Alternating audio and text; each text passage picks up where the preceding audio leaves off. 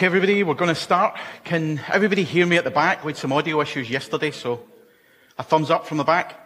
Yeah, awesome. Okay.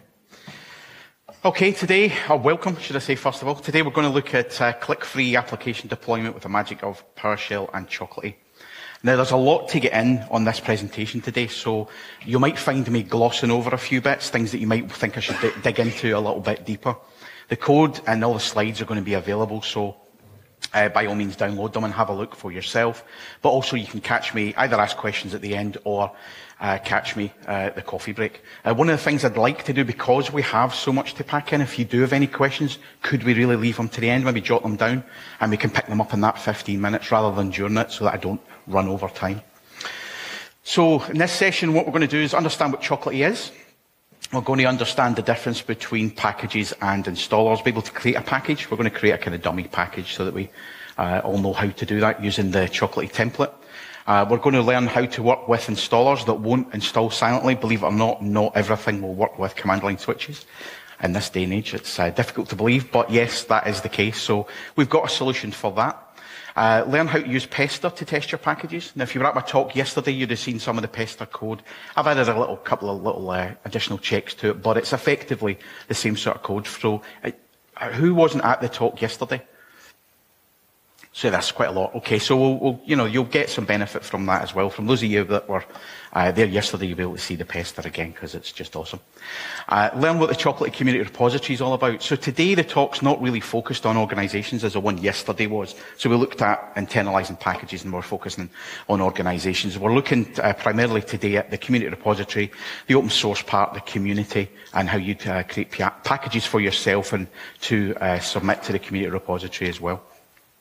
And we're going to learn how to keep your package continually updated. I'll warn you about that last one. The actual process for doing that, the PowerShell module, a lot of people have said is, is very complicated and very difficult to understand. So we're going to kind of gloss over it a little bit. I'm going to give you an idea of how it works. And it's your homework to go away and kind of dig into that a bit deeper. That actual module and how it all works is probably a talk on its own. So, as I said yesterday, and some of you will know, and Rob Sewell's still not here, so I can't uh, say anything more about that. But I usually put this up for two reasons. One, to annoy Rob, but as I said, he's not here. The other one, to let you know that I'm from Scotland and we talk very fast. And if I'm talking too fast today, please just let me know. Put your hand up and ask me to slow down because it's important that you get as much out of this talk as possible. Okay? Uh, this is also not a sales pitch. Um, I'm not here to sell anybody chocolate. So what this is going to be is a, a, talk round about the free and open source version. Yesterday we talked about the commercial version. Today we're talking about the free and open source version. So the bit you can download from chocolatey.org, we will actually be uh, looking at all of that today and you'll be able to use everything today with that.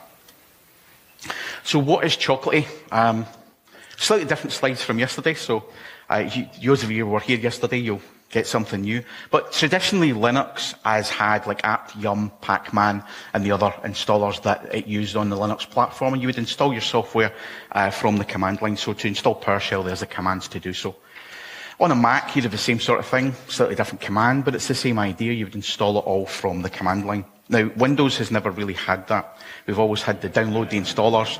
You all know the pain. Click next, next, next, and you keep going until you're nearly finished, then you click finish. And then when you want to update it, you've got to do the same thing again. So Chocolatey was born from that. So Chocolatey is a package manager for Windows in the same sense that apt and yum and pacman is for Linux and homebrew is for Macs. It was created by Rob Reynolds in uh, March 2011. That's when the first version was released. So it's not a flash in the pan. It's not something that's just appeared overnight. We've been around now for uh, over eight years. Uh, some of you may know Rob. Um, there's his handle there uh, at Fervent Coders, his Twitter handle, but he uses that in Slack, etc. as well. So some of you will already know, uh, know Rob. So to install PowerShell uh, core from uh, Windows, now you do choco install PowerShell core y, and there it is. All silently installed for you, and to upgrade it, you just use replace install with upgrade, and off it goes. So one of the fundamental tenets of Chocolatey, or tenets, I keep saying tenets, is that Chocolatey manages packages. And packages manage installers. So the example I normally use is Google Chrome. So Chocolatey will manage the Google Chrome package, and the Google Chrome package will manage the Google Chrome installer. Chocolatey does not manage installers. So Chocolatey will not manage the Google Chrome installer. Okay, that's the package's responsibility. and it's Chocolatey's responsibility to manage the package. It might seem very straightforward, but it's quite important to know that, especially when you're maybe troubleshooting an issue. For example, someone may come along and say Chocolatey is not installing Google Chrome. Well, Chocolatey doesn't install Google Chrome, so that's that's the reason for that. Chocolatey, uh, the Google Chrome package installs Google Chrome, so it gives you an idea of where you can look for the issue if you have any problems. Now, we do support very early versions, Windows 7, 2003, that's kind of where it was born, PowerShell 2, .NET 4. Um, so we support all of that all the way back. Um, there are some packages that obviously need uh, newer versions of PowerShell, for example, but the, them aside, um, all of the packages you'll find on a Chocolatey Community repository will support PowerShell 2 and uh, .NET 4. Some functionality requires .NET 4.5, um, things like TLS 1.2. If you're downloading anything from GitHub, for example, uh, that uh, those protocols are not in .NET 4, so we need .NET 4.5 for that. But by and large, .NET 4 is, is the kind of minimum requirement. But we don't support Nano. And uh, that could be a sad face or not, depending on how you feel about Nano. But there is a GitHub issue for that, and you can add any feedback or comments round about that if you want to. If anybody wants to take a screenshot of that just now, uh, sorry, a picture of that just now, um, to get that GitHub number, they can do. No cameras going up, that's fine. So what is a chocolatey package? The chocolatey package is effectively just a zip file. It's a fancy zip file, nothing more than that. Um, so you can open it with uh, 7-zip, um, WinZip, all these kind of zip uh, managers. You can actually open the file with that. It contains some special folders. We'll see them later on. We don't need to care about them. That's up to uh, the actual package for uh, specification that needs to worry about that. But we commonly call it a nupkeg or a new package is actually the, the, proper name for it. And that's based on the extension of the, the package itself, which is NUPKG. So nupkeg, new package. That's, that's what it is. But it contains metadata, PowerShell scripts, and sometimes other files. So the files you can see on the right-hand side, we've got package name.nuspec. That's a metadata file. Now it'll be called after whatever your package is. So if it's Google Chrome, it'll be Google Chrome.nuspec. But um, it contains metadata such as the ID, the version, description, various other information, um, to let the, the you and the package uh, manager chocolatey itself to know you know what's in that, that package. It contains the PowerShell scripts as well. There was one of them on the right-hand side there, chocolatey install.ps1. And uh, I'll go through the actual PowerShell files a bit later on. But it can contain other files as well. We've got an installer.msi there. You could add configuration file certificates, other PowerShell scripts, whatever it is you want to add that, that you need for your particular package, you can add in there. Um, Chocolatey only cares about the files it cares about, and uh, the, the, specification only cares about the, the, files it cares about. Anything else, that's up to you to add in and, and work with as you need to. Um, it also builds on the NuGet package framework. Uh, we, we do use uh, version 2 NuGet feeds um, if you're setting up a repository within an organization. Um, at home, you're unlikely to be doing that. You're probably going to use a folder for your packages, if anything. Um, but it does work with other, other things that uh, will work with the version 2 NuGet specification. So Chocolatey does love PowerShell, otherwise I wouldn't be here today. Um, all of the scripts, the install, the uninstall, and the before modify, we can see at the right-hand side, are all just PowerShell scripts. Um, Chocolatey relies on PowerShell to do a lot of the management of the installer itself. Um, so anything effectively that you can do in PowerShell, uh, you can do within a Chocolatey package. There are a couple of exceptions to that. Um, but the, the files at right-hand side, I'll quickly go over. It's kind of obvious by their names. The install one does the installation of the software, as you'd expect, and the upgrade as well. The uninstall one uninstalls it, and the before modify one runs before upgrade, and uh, sorry, before the install script on an upgrade, and before the uninstall script on an uninstall. And that's primarily there to maybe stop services, uh, kill processes, and remove lock files, that kind of thing. But I did say you can almost do anything uh, within a, a chocolatey package. There's one thing you can't do, and if anybody knows anything about the IT crowd, you'll know that you're actually not supposed to type Google into Google because bad things goes and happens. Um, it's the same with uh, Chocolatey. Don't use the choco command within your uh, PowerShell scripts itself. Uh, your install, your uninstall. That's, that's just going to cause problems at the end of the day. I was expecting more of a laugh from that than I got, but never mind. So, uh, let's look at chocolatey packages themselves. That took me an age to put together. It's just absolutely gutted. So what we're going to do is we're going to look at the Choco new command, and what that does is it um, creates a, a, template package for us uh, using the name that we're going to give it on the screen there, which is my package. Does everybody see that? Okay, is that big enough for everybody at the back? Yeah, cool. Thank you. So it's created all these files here, and we're going to see them in the file system rather than looking at here there. But um, you can see that Choco New creates a new template package for you. If you're new to packaging, that's a really good place to start, as there's a huge amount of information, as we're going to see in a second. so it creates all of these files here. It creates this tools folder, and it puts in the three uh, PowerShell script files I uh, talked about earlier, and it puts in these other two text files. I'm going to go through them all, um, kind of briefly. The one I would always start with is the README one. And there's a huge amount of information in there uh, about creating packages. Um, again, I'm going to, you know, you'll run Choco New, you'll get all this information. I'm just really giving you an idea of, of what's uh, available. We've got links to documentation on chocolatey.org, things about uh, automatically updating your packages, shim generation. You know, we could go through this uh, all day. Um, there's variables in there and there's chocolatey helper functions. Really, really uh, useful if you have never created a chocolatey package before. Now, the other one that I find incredibly useful as well is the to-do file. Now, what that does is it gives you step by step to go through and how you would determine how you're going to create your package, what things you want to put in there, depending on, on where it's to be uh, used, for example. So the very first one is determine package use. So you're going to use this internally within an organization up here. Um, are you going to use it in a community repository? Do you have distribution rights? Do you not have distribution rights? Um, determine the type of package you know, on and on, then chocolatey install PS1 file. Again, so you would go through that step by step. Make sure you've got all the information you need in order to submit it to community repository. Or if you're using it within an organization, it's quite useful for that as well, because you can see again what steps you need to go through. And we've got files within the tools folder. Now, traditionally, the structure that, that um, Chocolatey has created there is what most people use. You don't have to use it. You use what you, what you want. Um, it'll find uh, these uh, install and uninstall scripts elsewhere. If they're in the root, for example, it'll find them there as well. But traditionally, we keep it this way because it's familiar to everybody. Um, I'll go to the license file and we'll go into the, the, scripts in just a second. License file is if you're embedding software and you want to uh, submit it to a Chocolatey Community repository. What you would do is copy the license for the software in there. That allows us as moderators uh, to see that the license provides distribution rights. Um, and you also put the where you found the license as well so that we can check it actually does ap apply to that particular bit of software. So all you're doing there is you're helping us. The verification.txt file um, that's basically a set of instructions on how we can verify the checksum of the installer.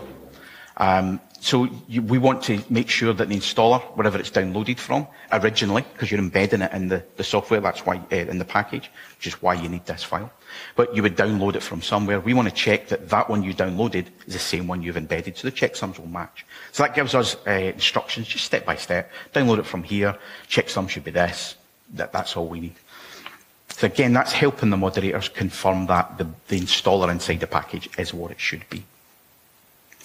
And then we've got the chocolatey install. And I'm not going to go over the other two, uh, have a look at the other two, because they're effectively the same as this. They are full of comments um, that before you actually submit to the community repository, you should uh, remove.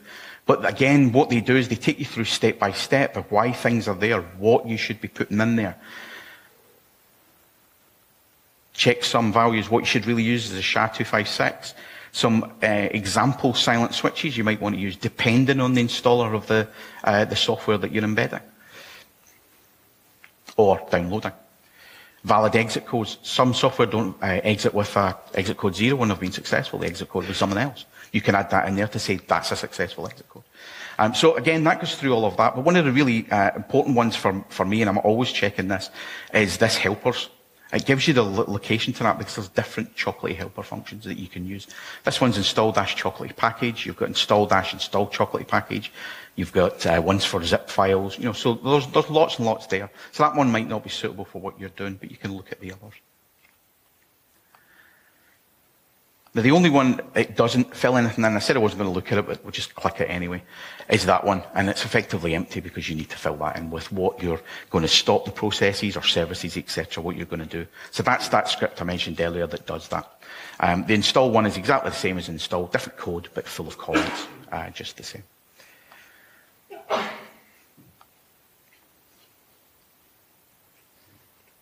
So I mentioned the three PowerShell scripts. I hope this is big enough for everybody to see. Um, but there's three PowerShell scripts that I mentioned, the chocolatey before modify, the install and the uninstall. It's important to know what these uh, scripts actually do. Um, so here we've got a, a, sort of table of when they're run. Uh, the chocolatey before modify is run, the very first script it's run in upgrade and uninstall. Assuming it's there, you might not need it. You don't need it, you don't put it in. Chocolatey install will run obviously in the install and the upgrade, and the uninstall on the uninstall only. Okay. So that's handy when you're trying to work out what runs where.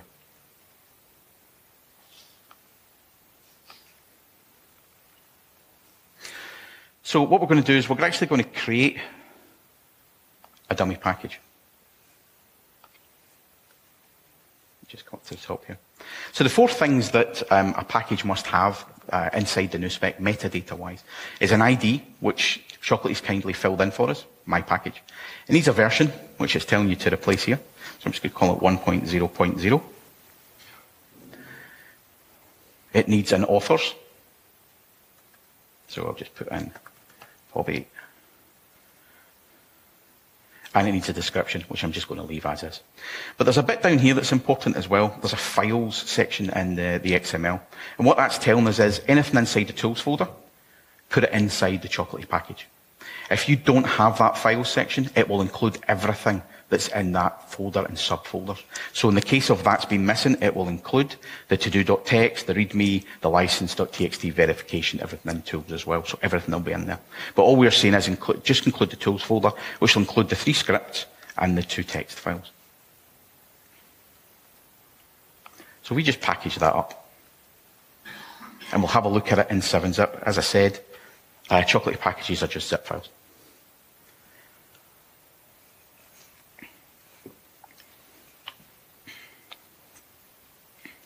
So that's a nuspec file. Hopefully you can again see that at the back. Um, that's the nuspec file that we created. As you can see, it's removed all the comments because they're not needed. My package, version one, blah, blah, blah, all the other information that's in there. Okay.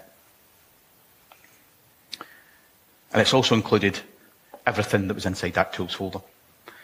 But you'll notice that it hasn't included the to-do.txt that's over here and the readme because we had that file section. Okay. Just to repeat again, if you don't have that, it will include them in there. Now the tools, um, the chocolatey install.ps1, we need to modify to make it work. We're not going to do that here. There's a reason we'll find later on. We're just going to use the default template, which won't install anything because it's full of dummy information and bits and pieces that are missing that you're supposed to provide it with. But that shows you how easy it is to create a package. A very, very simple package, uh, granted, but that's how easy it is to create a package. So we're going to have a look at an existing package, which is always a good place to look when you are uh, creating your own packages. Go onto the Chocolatey Community Repository, download some packages and see how other people are doing it. Especially packages similar to what, what you're doing. You'll probably find that if you've hit any problems, they might have hit them as well, and they'll have overcome them with some PowerShell. So this is the putty package. Now this is a different type of package. I'm not going to go through all the different types, so please don't roll your eyes. Um, this is a, what's called a meta package. Okay, so it's, it's effectively putty. If you install this, uh, the important bit for us that we're looking at is the dependencies. So it's important to understand dependencies when you're creating your own packages, particularly if you're creating, uh, sorry, packaging software that requires things like .NET so there's a .NET version that, um, that requires on the machine, required on the machine to run. So you need to put that um, into the package as a dependency. You don't put .NET inside the package. You put that as a separate package, and you'll find that that'll probably be on the Chocolatey Community Repository. Well, it is the various .NET versions, but whatever it is that you're looking for. And the reason for that is you might have another bit of software that requires that as well, and another bit. So you, if you have a separate package for it, you're only ever packaging it once, not three times inside three different packages. So this dependency here tells us we need putty.portable, and it also gives us a version. Uh, in this case, you can see the version number there. So we're actually going to go and have a look at that package because that's the one that does things. This package doesn't have a tools folder, as you can see. It doesn't have any of the chocolatey scripts that are required. So effectively, this package doesn't do anything with PowerShell. What it does is it tells chocolatey, I need that as a dependency and nothing else. So when chocolatey comes along to install putty, it will look inside the nuspec file It'll look at the dependencies. It'll see it needs putty.portable. It'll install that first. It will then go back to the putty package here, and it'll say, right, what else do I need to do? And this package has nothing else, so that's all it does, and that's it fine. In the case of your application it might need .NET, after it's installed .NET, it may then go and do other things like install your application, etc. Okay? So it's important to understand that. So we're going to have a look at the putty.portable package.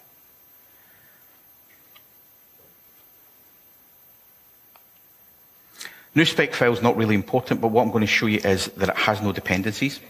Okay, it's just the metadata. But what it does have in the tools folder, it has the two zip files there that you see, which is actually the software uh, zipped up. And it has the chocolatey install.ps1 file. And all that's telling it to do is run get chocolatey unzip with these arguments up here, the, the splatted arguments. And that's telling it to unzip either the x32 or x64 zip file. Chocolatey will know what version, uh, what bitness your operating system is. So if you're running on 64-bit operating system, in this case it will install the x64. If you're running on 32-bit, it will install the x32 one. Okay. And you'll see also that this package has a license.txt file. Because this is old software, they haven't put the location for the license in. Or should I say an old package, not software. And uh, yeah, so we've got the, the license here that's copied in, so that helps us as moderators. And then you've got the step-by-steps for the uh, for the verification.txt and how we would go about verifying that, that those putty uh, .zip files that are inside the package are actually the ones that are downloaded from the putty website. But these are also handy for user, a user. If you download this package, you want to install it, you can check that as well yourself if you really want to.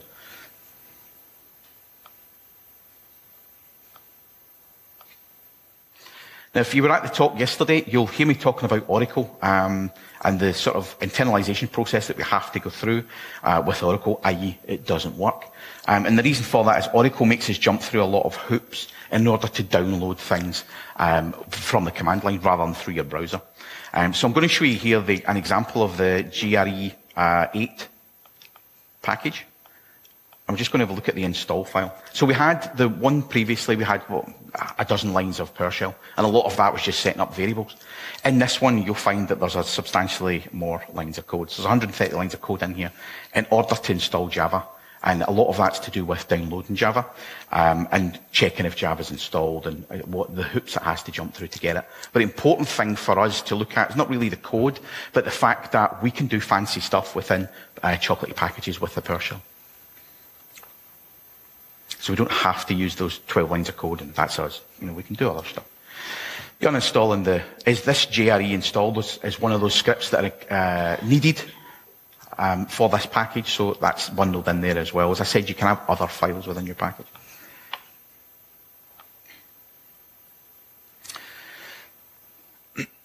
so we've got also badly behaved installers. I mentioned that to you before.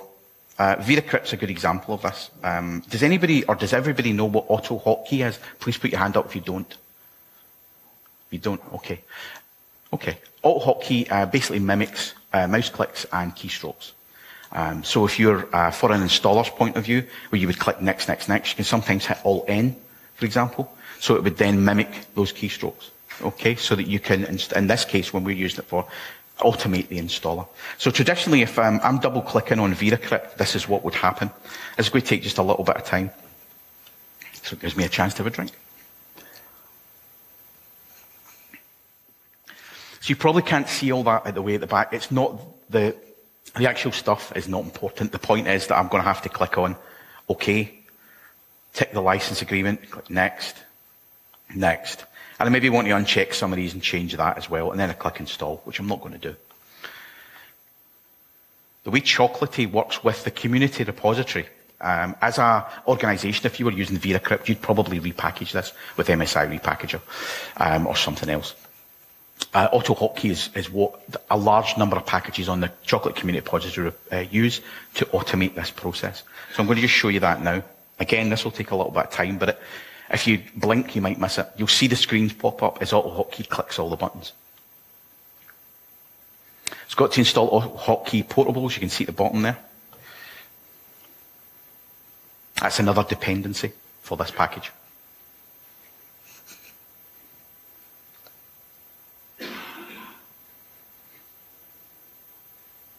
You see it now go. So that's not an ideal way of doing it. Uh, we would hope things would be silent, but it's not every bit of software can install silently. So that's, that's what's used in the Chocolatey Community Repository. Again, just to reiterate, in an organisation, you'll probably repackage all this and do stuff your own way. There's another uh, bit of software called AutoIt, which I've seen some people use as well. Very similar to AutoHotkey. Um, so just in case you come across that as well. But if we go and uninstall VeraCrypt, again, you'll see the boxes pop up because it's not even a silent uninstall.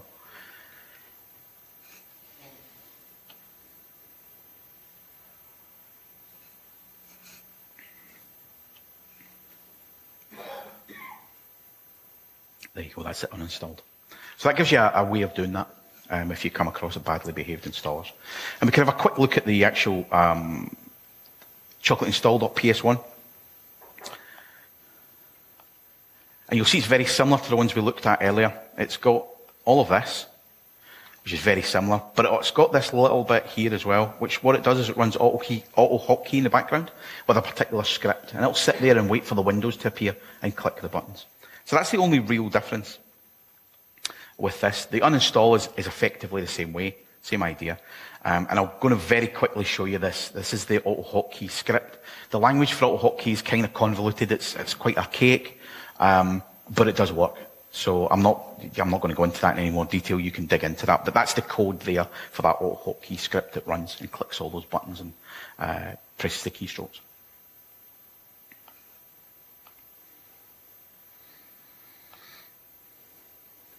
So we'll jump back to the slides for a little bit.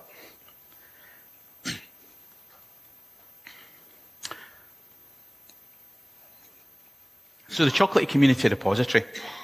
We don't uh, talk about this too much, not because it's a secret, but it's mainly because people just generally don't ask. They'll ask about specific um, areas of it, but not the kind of process as a whole. So that's what I'm going to try and look at is the whole process. And then we've got another couple of demos, and then we'll be done, I promise. Uh, repository is at chocolatey.org and it's hosted by Chocolatey themselves. If you're looking for the packages and you want to see a web view of that, it's chocolatey.org slash packages and they're all available on there. And when you install uh, the free and open source version, um, or in fact any version of Chocolatey, uh, the, Choco, the Chocolatey package source comes installed by default, and that points to the Chocolatey community repository. So at the box, you can do something. You don't have to do anything else. You don't have to add anything. You can start installing packages right away. The vast majority of packages are created by volunteer maintainers. Before I started at Chocolatey, I, uh, i created packages myself, so that was done in my spare time because that was things I wanted to use. Um, so the vast majority of people are, uh, who create packages and maintain packages are the same as me. They're just volunteers. And I still have a large number of packages on uh, the Chocolatey website as well. Um, some vendors maintain their own packages. We're really, really keen for vendors to uh, obviously maintain their own packages because they are the ones that have the most vested interest in there. They can also embed them if they really want to, circumvent their own license, which is ideal. Um, the repository as well is for the many and not the few, so the use of it is actually monitored. I talked about this in more detail yesterday, and I'm going to talk a little bit about the, the mechanisms we used for monitoring it, um, or for blocking, should I say. We'll come to that in a second. But licensing is important as well. Um, because it's a public resource, we don't have distribution rights.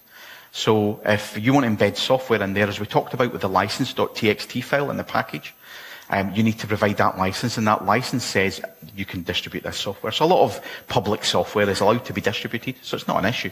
But things like Google Chrome, we can't embed that inside there. Google would uh, understandably be annoyed by that. So we have no distribution rights. Um, so that's important to understand. You can't just put any software you want inside a package. Um, mainly it's downloaded at runtime when the package um, it starts executing the PowerShell scripts. So the Chocolatey Community Repository, I kept saying yesterday about 6,500 packages, and I checked again this morning, and we're at nearly 6,900 packages, with nearly 70,000 uh, versions of those packages in total. There's 548 million installs of Chocolatey packages um, since the website appeared, and we've got 5,056 uh, known good packages. I'm not reading these numbers out for the, the sheer hell of it.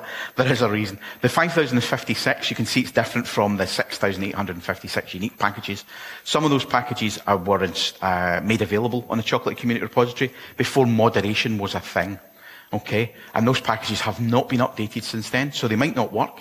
They might be out of date, um, but you know they're still on there, and, and, maintainers can come along. Any of you can come along and go, "I actually use that software. I want to actually now maintain that software," and you can pick those packages up by just letting us know, um, and, and, you know working with them. The, the, stats I'm not going to go through, but as you can see, there's, there's a you know it's, it's a heavily used website. So the excessive community repository use, as I said, this isn't a talk really about organisations, but this particular bit you should know about, and it kind of applies mainly to organisations because they're the ones that hit these limits most. We implemented rate limiting October, November last year um, to improve the stability of the website because, um, as we said, the website is for the many, not for the few. Um, so if you hit any of these limits, if you have downloads of the Chocolatey package, more than five of those per minute, or downloads of any other package, 20 uh, per minute, you will be blocked for an hour. And after that hour, the block is lifted. And, you know, if you hit the limit again, it's blocked. And as you can, you know, if you're using this at home and you're installing a few packages here and there, you're not going to be hitting these limits. So it doesn't apply to the vast majority of us in here. It'll apply to organisations. And if you're doing it at that particular level, then again, you know, you, are excessively using the the website. Chocolatey.org is a free resource um, for everybody to use. Monthly download monitoring as well is, is a, a thing. Um, that's been in place for some time, and that's actually a fixed block.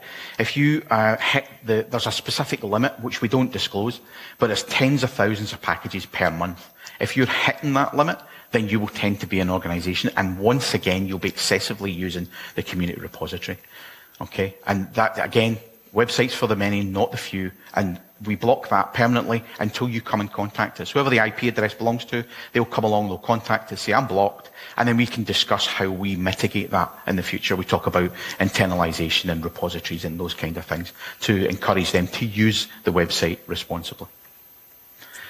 The, the, bit I said where we don't normally talk about and it's not a secret, this is the bit here we don't normally talk about, and this is actually the submission process for the chocolatey, uh, chocolatey community repository. And I'm going to go through it, uh, you know, kind of briefly. Um, but if you push a package to the chocolatey community repository, you'll get an email saying your package is pushed. It's going to be subject to um, these moderation reviews, package validator, verifier, and potentially a human moderator. So once it's received, it's actually sent to our package validator system, and it checks the nuspec file. Okay, checks all that metadata in there, makes sure it's all good, and uh, meets the rules for the chocolatey community repository. Then it's sent on to the package verifier and scanner at the same time. The verifier will actually install and uninstall your package and make sure it does install and uninstall properly. The scanner will install your package, take all the files from that installation, upload them to VirusTotal, and make sure that they, are, they don't contain malware. And then it's after uh, the verifier passes, actually I'll go back and say if the verifier doesn't pass, you're sent an email asking you to fix your package. Um, if, when it does pass, uh, it goes to a human moderator, and we will actually check it, sanity check it. So we'll check your PowerShell code might install and uninstall properly, but it might be doing all sorts of weird stuff. Um, we try and keep things to a sanity level that most people would, would adhere to. Um, so we would check that. We'd also check things like make sure the license file, the uh, license.url that you put in your metadata, which points to the license for that software. We make sure that's valid, for example. Something that the package validator couldn't do. It can only check it that the URL is valid can't go in and check if the license is valid. So that's why uh, we do that as human moderators. And once that all passes, once we pass that package and approve it, um, it will then appear on the website for everybody to use. Um, but it also goes through a monthly package verifier as well. And what happens every 30 days is it just gets passed back to the verifier to make sure it still installs and uninstalls correctly. The reason for that is um, a lot of packages will use uh, the installer, download the installer for somewhere on the web. That, that location could disappear. Um, it, a new version could come out. Um, so that file's no longer available. So there's different things that can happen to your package over a month. So that's why um, it's validated after 30 days again. Just to touch on organisational community use, um, it's not we don't um, recommend you use the Chocolatey Community Repository directly if you're an organisation. Uh, you can use it for your package internalizer. That's awesome because you're just pulling it down once, but we don't recommend you directly use it.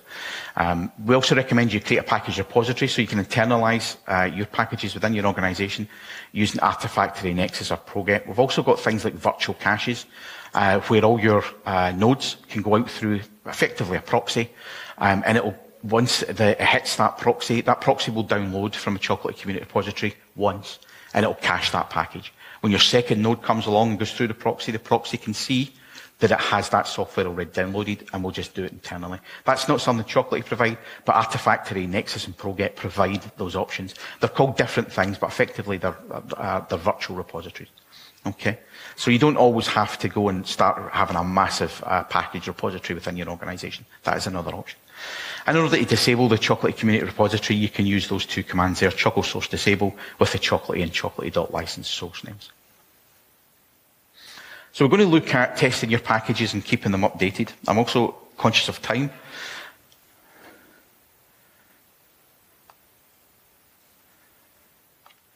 So as I mentioned earlier on, we did some pester tests yesterday in the talk, and these are effectively the same with a few, a few changes. Um, but we're going to have a look at the package tests first of all. There we go. Let me get rid of that and put that over there. There we go. Okay.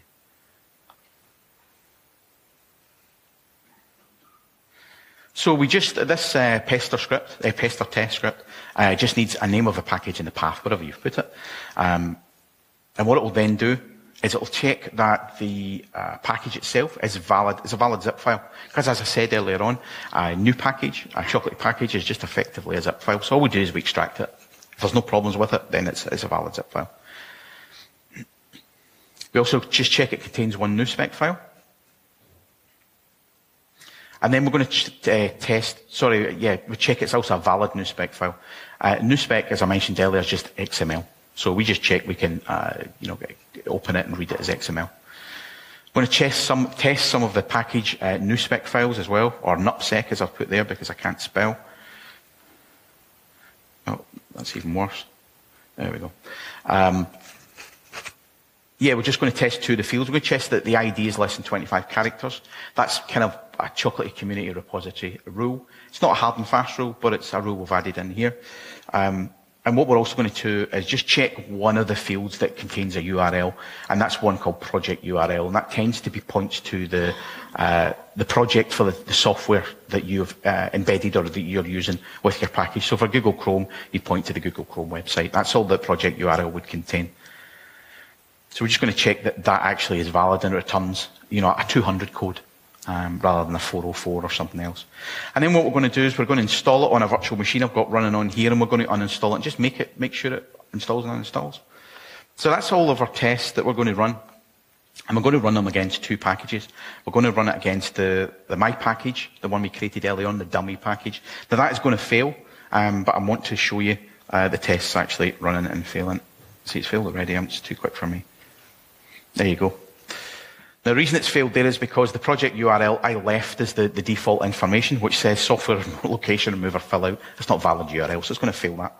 And it's also going to fail the install and uninstall, because as I mentioned at the beginning, the install script and the uninstall script has dummy information, missing information that we needed to fill in that we didn't do so. So it's not going to install properly, and it's not going to uninstall properly either.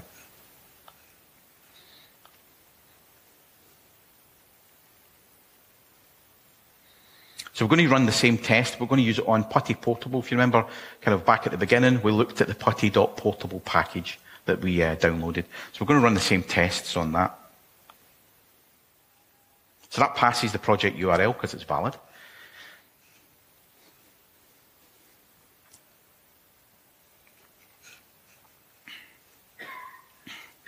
This is when speakers start panicking. Ah, there we go. Uh, it's, installed the package without a problem and it's uninstalled without a problem. So that's, as I said, that just, I've got another VM running here and it just goes away and installs it and uninstalls it, makes sure it works. So that's, that gives you a very brief overview of how you can use Pester to test your packages. Okay, just bear in mind that your NuSpec file is just XML. That's all it is. And your uh, PowerShell scripts are just PowerShell. So you, if you can, you can work with them, manipulate them. You could go and check the PowerShell is valid. There's all sorts of tests that you could write um, to make sure that your package it meets your requirements, your standards. Now, I'm also mentioned that um, AU, um, that you know, keeping your packages automatically updated, should I say? The, the module, the PowerShell module for that's called AU. Um, I mentioned that it was kind of uh, difficult for a lot of people to use. Um, and a lot of people find that um, it can be problematic uh, for them to sort of pick it up and be able to use it, especially if they're new to packaging. Um, so there's actually a page on the Chocolatey community uh, website about it. The thing to bear in mind is AU is not written by or, or uh, maintained by the Chocolatey team or Chocolatey themselves. Okay, it's written by a third party. Um, who uh, actually is one of the maintainers on our core uh, packages repository. And I don't want to repeat his name because I'll do it an injustice, so I'm just going to highlight it there. Okay? So that's who's written it. Um, and as I said, it's PowerShell version 5, and it's called the AMU module. And you can find all the information about it on the Chocolatey, uh, reposit- uh, sorry, the Chocolatey website documentation, and it points to the various places. But the important thing that I'm going to go through is um, I'm going to take you through two of the automatic update PowerShell files that I use for two packages I maintain. The first one is dbatools. So we're just going to have a look at that one. And we've downloaded that. Uh, it's in there. And there it's there. Give a second to make everything nice and shiny. There we go. Um, so this is the kind of uh, update script that, the uh, AU expects. Okay. Um, it uses global functions. It's really designed to work, run through a CI system. It's not really designed to be run on your desktop. It can be, but it doesn't really uh, work for, in my instance, excuse me, uh, because it uses aliases all over the place. And uh, we all know that best practices don't use aliases in modules, PowerShell modules. But this does. And it causes problems in my system because I've replaced the ls alias with something else. Still does ls, but it doesn't colours, but it doesn't provide the output that this module expects, so it doesn't work. So as I said, it's, it's mainly designed for CI systems. Uh, but the important bit down the bottom here is the get latest function that you would uh, put together. And what that does is it gets the latest version. All it's going to return is a version. Um, in this case, we can add other information into it, but it's looking for a version and potentially a URL of the software if it's on the internet somewhere. If you're embedding the software inside the package, as I'm doing here, you don't need the URL. Um, so that version actually just goes away to uh, find the module from a PowerShell gallery, finds the correct version for it, and returns that version. AU itself will then determine whether the version is the same as the one that's already there, whether it's a new one. If it's a new one, it'll continue the process. Um, it will then run, in this case, this before update function, as you can see here. And all this does effectively is download the module from PowerShell Gallery, zip it up, and return uh, some information uh, back to AU itself. And that's all it does. Once AU's finished that little bit of its job, it'll then package it up and push it to the Chocolatey Community Repository. And then it'll go through all those processes we talked about earlier on um, to do with the, the validator, the verification, the scanner, etc. So that's a very simple automatic uh, update script, an AU script um, for, uh, to, to, run. Um, there's one slightly more complicated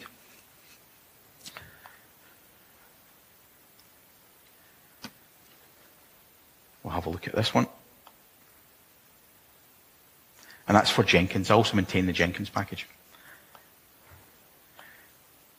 Again, the same functions are in there. Um, I left the, if you remember the other script, there was a lot of empty functions. I leave them in there to remind myself that those functions are there. Um, they, are obviously empty, they don't do anything. It's just for me. Um, so what this one does, is, again, is it runs get latest. Okay? And this one's slightly more complicated in that it scrapes the website. So it'll go away and it downloads the, the web page and it's looking for this reg, regular expression. If anybody loves regular expressions, uh, you're obviously a masochist, but you'll understand what that does. And that'll return the version. And again, that returns this case the URL for that bit of software, in case AU needs it. That will go back to AU. It'll say that version's a new version. I'm going to use the URL. And then I'm going to run this function here, which is search and replace. And all this really does is it looks at the file that you've given it, which in this case is chocolatey install PS1, and it does these regular expression replacements. It's going to replace the URL, if you can see there, with the latest .url, which is what was down here, that URL there. Okay, so it's going to put that in there. So that's updated our chocolatey install PS1 file for us and it's going to add in the checksum, which it'll create itself, and it'll add the checksum type again that it'll create itself. So it does a lot of work for you in the background. And as I said, these will replace those uh, bits inside the chocolatey install.ps1. It'll also change the version number within the nuspec itself. It's uh, when it updates because it's important that we've got a new version of a package. Well, we need a new version in the nuspec that tells us that. So that's the demos. That's us nearly done. We've got 19 seconds, but um, I'm sure we'll manage. So that's, that's testing your packages with Pester and the AU module as well. As I said, and I know I'm repeating myself, the AU module, you'd need to dig into that yourself. It's a talk on its own, but it gives you something to work with, somewhere to start and kind of understand a little bit about how it works. So in summary for today, we know what Chocolatey is now, I hope. Uh, we know how to create packages and how to use the, the Choco new command to create, you know, a package template. We've learned how to deal with the troublesome installers that don't work with command line switches. So we, we looked at VeraCrypt and we looked at AutoHotkey and I mentioned about AutoIt as well and uh, MSI repackaging. So these are all options. Uh, we've used tester, uh, Pester, sorry, to test our packages, um, using those very, very simple tests that hopefully you'll be able to expand upon. We've learned what happens when you submit a package to the Chocolatey Community Repository. Important if you're going to be working in the community to know how all this stuff works. And finally, we've, well, we've hopefully learned a little bit about how to keep our packages uh, up to date or continually up to date. So the slides in the demo code will all be uh, there. As there any questions? Yes?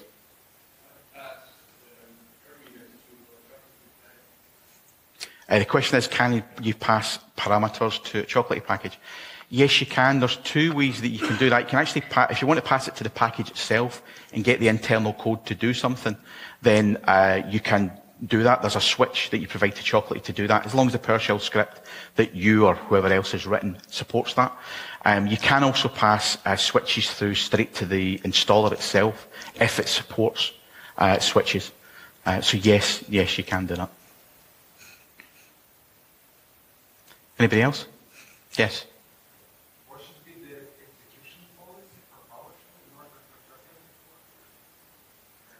The, the, that's a good question. I don't think, because Chocolatey actually includes its own PowerShell host, um, the, uh, sorry, yeah, I'll repeat I keep forgetting to repeat the question. Uh, the question was, um, what is the PowerShell, uh, what was the PowerShell execution policy, that's what I was looking for, that uh, you have to put in place for Chocolatey to work. Um, Chocolatey includes its own PowerShell host. So to install Chocolatey, if you go to the chocolatey.org slash install, it actually does change the restriction, pol- uh, the execution policy, sorry, um, just to install it. After that, it goes back to what it was. But Chocolatey includes its own PowerShell host, so that doesn't seem to make any difference. Anybody else?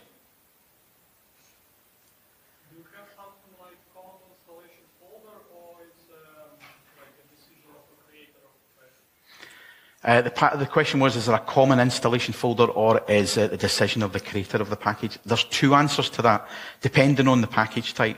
Um, if you're using, again, I'll use the example of Google, Google Chrome. Uh, that installer decides where it installs, so generally be C program files, whatever it happens to be. Um, and uh, if, the, if you've got something like a portable package, um, the putty up portable we mentioned earlier on, then because that's just executable files, there's, you know, there's not an installer as such, it was a zip file containing executable files. The person who writes the uh, PowerShell script, uh, the chocolatey install PS1 script, will decide where that goes. But there is, there is um, parameters or switches you can provide to Chocolatey, um, depending on the package type and depending on the version of Chocolatey they're using to actually affect that. Yes?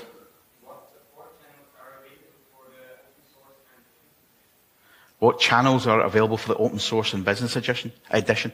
Um, sorry? Live support channels. Like support channels. You, you mean things like Gitter, Slack, those kind of things? Uh, if you've got the commercial version of Chocolatey, then there's uh, commercial support available that comes with Chocolatey. Um, you, there's no extra paid for that, um, you would go to chocolatey.org slash contact and you'll be able to get support that way. For what we're talking about today for the free and open source version, um, you can go into Gitter. Uh, Chocolatey does have a Gitter channel. I think it's gitter.im slash chocolatey. And there's a few uh, rooms in there, but the general one is Choco after that. Uh, you would get support for that. Um, you can contact, um, if you've got problems with a package that doesn't work, Chocolatey don't support the packages on the community repository, the maintainers do. So you'd be able to go into the Chocolatey community repository, go into the package page, and there's a contact maintainers button. Uh, or link, should I say, on there, where you can contact the maintainer directly to say this is broken, uh, it's not installing properly, or, or whatever. Um, you can also contact the uh, site admins from that same page as well, saying maybe the maintainer's not responded, you know, there's an issue here, etc. Um, so there's, there's many different support options available for the, the free and open source version community-wise.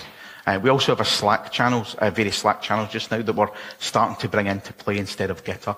Um, so there, there, are lots and lots of different options. Google Groups is another one I should really have mentioned.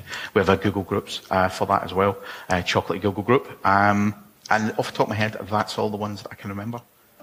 Do you know of any others that you're thinking about, or are you asking the question rather than knowing? Yeah, Twitter would be an option as well, actually. Yeah, that's a good point. That's a good point. So there are lots, lots and lots of uh, avenues available. Any more questions? No? Okay. So if you like to talk, please push the button. And that's my video.